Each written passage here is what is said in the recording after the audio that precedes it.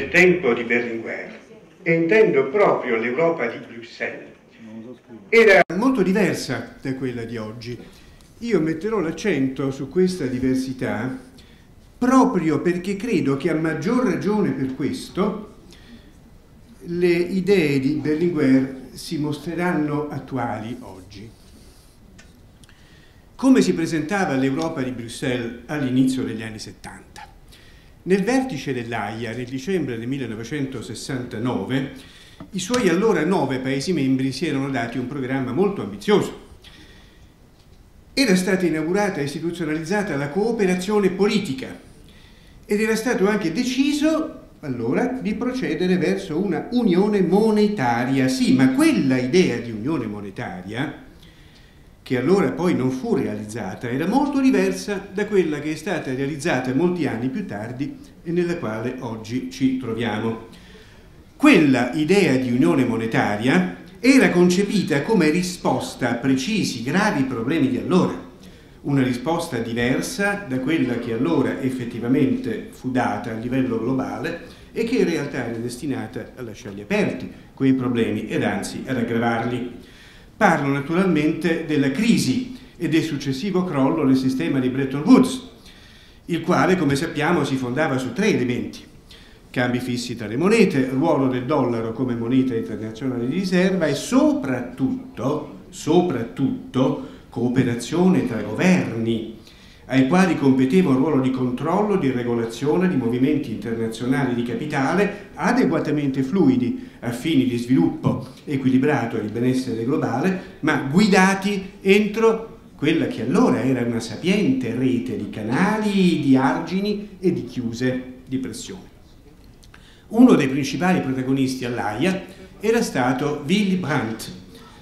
appena eletto cancelliere, allora, che cominciava a sviluppare la sua politica di dialogo e di pace, mantenendo contemporaneamente il quadro della costruzione europea e lo stesso quadro della solidarietà atlantica. Infatti, la socialdemocrazia tedesca, dopo essere stata inizialmente neutralista aveva accettato la Nato pochi anni prima, poi all'inizio degli anni 60, proprio per favorire la stabilità dell'equilibrio mondiale, quindi la pace, legando infatti quella scelta alla prospettiva di superare infine comunque un giorno la stessa divisione dell'Europa e del mondo in blocchi. Il senso della posizione che Berlinguer prenderà qualche anno dopo circa l'alleanza atlantica non sarà poi forse sostanzialmente lo stesso? Esattamente questo? E già, ma qualche anno dopo, appunto, in una situazione mondiale cambiata, un certo atlantismo reale reagirà a una sollecitazione di tale genere con immediata, decisa e attiva ostilità e non in nome di qualche principio non adeguatamente eh, riconosciuto o in qualche modo violato, no, in funzione di precisi e grandi interessi strategici di quella fase. Reagirà in modo anche molto più ostile e soprattutto molto più concreto di quanto un certo socialismo reale a sua volta certo abbia reagito negativamente. In quella prospettiva, comunque, una comunità europea sempre più integrata era intanto sollecitata ad esercitare il suo peso per la pace, per lo sviluppo pieno e globale della democrazia, tanto a livello geopolitico quanto a livello geoeconomico.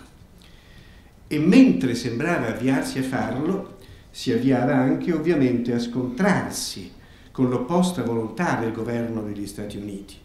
con la sua volontà cioè di agire unilateralmente per affermare ciò che essa stabiliva, l'amministrazione Nixon, come interesse nazionale, coincidente per essa con un primato da mantenere ad ogni costo, ad ogni costo prevalentemente altrui. E del resto l'amministrazione Nixon concepiva la stessa distensione come una semplice tregua nel conflitto globale, necessaria in un momento sfavorevole, non come una strada verso una piena soluzione di pace. e lo dimostrò evitando di impegnarsi per prevenire allora una nuova guerra in Medio Oriente, essendo su questo innanzitutto lieta di vedere l'Egitto liberarsi dal freno, tra l'altro anche costituito dall'Alleanza Sovietica, proprio per poterla cominciare quella guerra, per spostare quindi i rapporti di forza regionali in funzione dei propri interessi, guardando poi agli Stati Uniti come principale interlocutore. E immediatamente dopo la guerra arabo-israeliana dell'ottobre del 1973, appunto, i nove paesi della comunità europea si impegnarono decisamente, dichiarazione di Bruxelles, dicembre 1973, a favore del percorso di pace multilaterale e globale, delineato dalle Nazioni Unite a garanzia delle vitali esigenze di tutte le parti. E perciò si scontrarono con la volontà americana di porre ostacoli allo svolgimento di quel percorso a favore della propria strategia unilateralista. Questo braccio di ferro durò poche settimane, tra il novembre del 1973 e il febbraio del 1974, settimane decisive. Alla fine fu l'Europa dei nove che si piegò di schianto e in particolare fu Brandt che si piegò.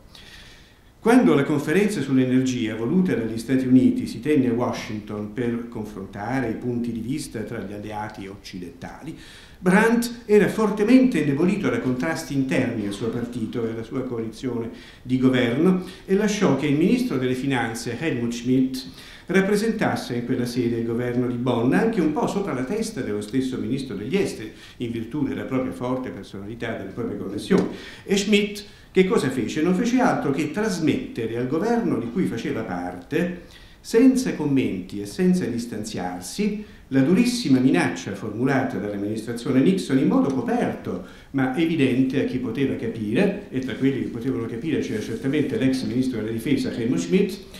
e che cosa consisteva questa minaccia? Eh, prevedere la minaccia a un'Europa che volesse insistere nelle sue ambizioni di autonomia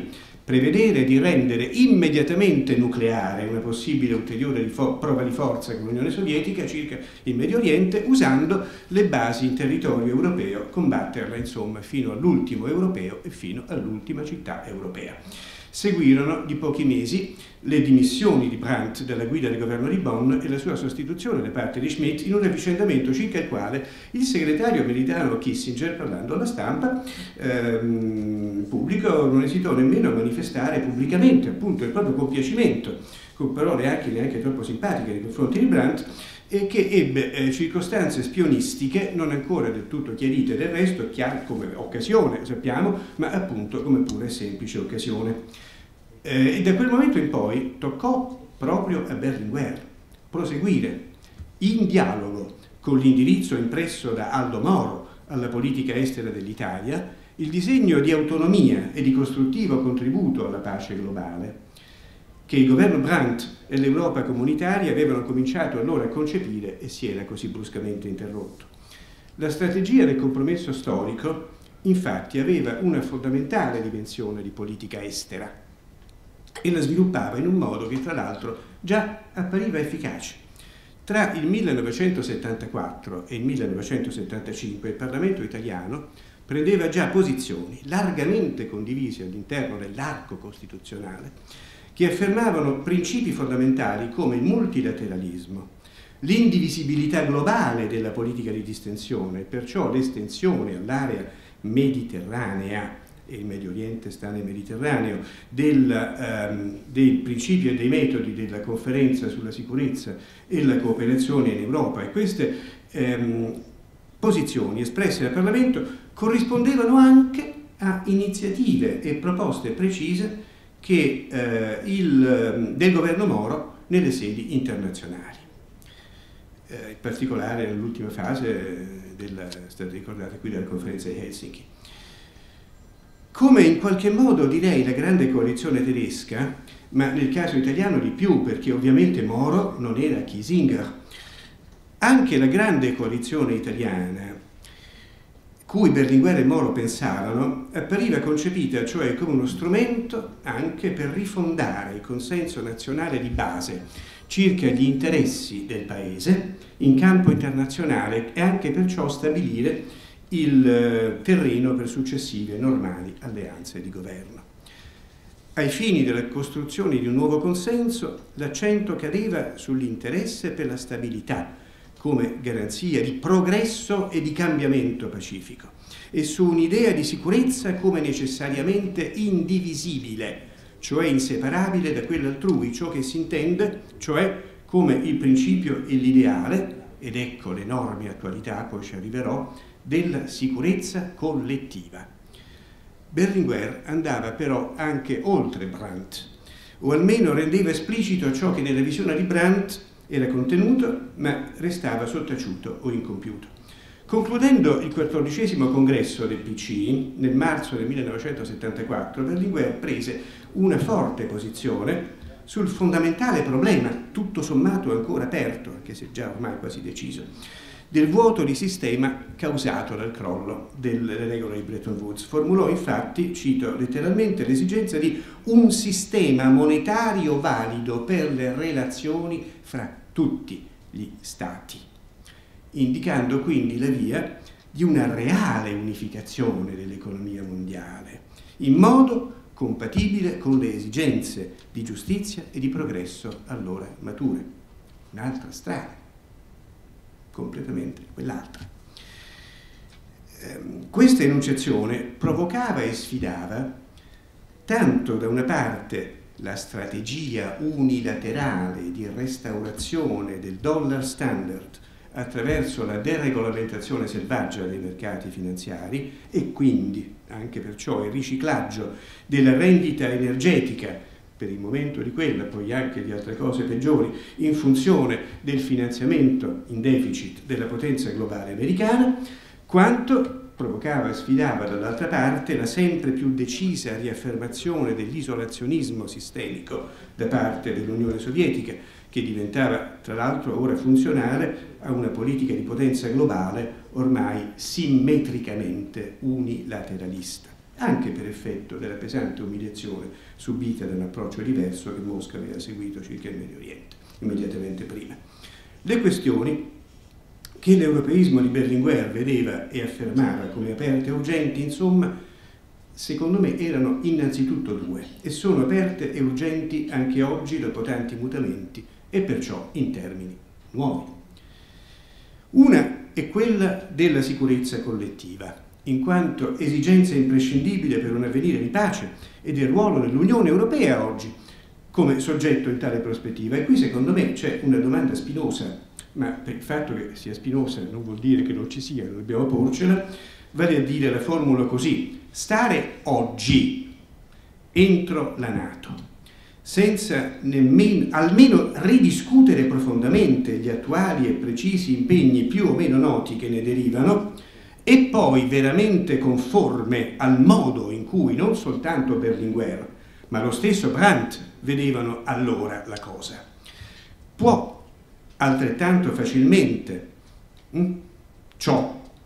stare oggi senza discutere entro la Nato, senza discutere, non, senza discutere alcune tendenze strategiche di lungo periodo, che, medio periodo che oggi sono in atto,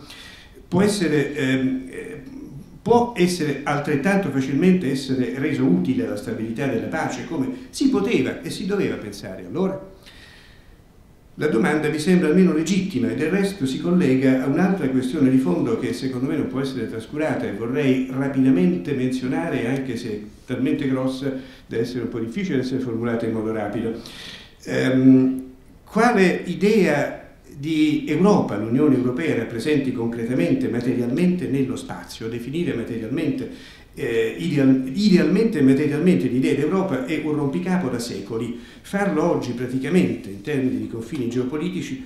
eh, non è meno complicato di prima, forse lo è di più, è una questione che somiglia molto, vorrei dire, avviandomi alla conclusione, di quella che si doveva affrontare nel XIX secolo quanto alla non meno incerta e non meno complicata idea di Germania. In entrambi i casi si tratta di una complessità e di una ricchezza talmente grandi da sfuggire ad ogni possibile soluzione geopolitica che sia capace di comprenderla intera senza snaturarsi e senza rischiare di diventare velenosa. Occorre riconoscere in casi del genere, osservare dei limiti, sapendo che l'idea va oltre. Un conservatore intelligente come Bismarck In qualche modo lo capì per il problema suo e comunque seguì una strada compatibile con questo. Parlo chiaramente di Ucraina, parlo naturalmente di Russia. L'altra fondamentale questione, su cui finisco veramente, ma importante, è la necessità di costruire una forma di economia e di mercato che anche a livello mondiale, come era e resta imprescindibile in un mondo interdipendente, faccia seguito alla crisi di quella esistente, crisi di improseguibilità della forma esistente, combinandosi con forme ancora più avanzate di democrazia all'interno di ciascun paese, come nei rapporti tra i popoli e la civiltà, anziché con pesanti limitazioni della democrazia, come invece è accaduto da allora e accade oggi. E appunto un'efficace combinazione tra nuove forme di mercato e una più compiuta democrazia nel quadro di relazioni di amicizia e di pace tra i popoli era e resta la nuova e più avanzata idea di socialismo su cui Berlinguer lavorava, per cui pensava da comunista e da rivoluzionario ed è quella su cui noi siamo chiamati a lavorare pensare, lottare oggi. Grazie.